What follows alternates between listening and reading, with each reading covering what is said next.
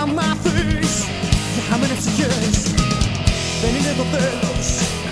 Του κόσμου που ψάχνεις.